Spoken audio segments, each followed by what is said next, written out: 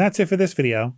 Thanks for watching. We appreciate your support. Please like, subscribe, and ding that bell notification if you don't want to miss our next video. And please let us know what you think in the comments. See you on the next one.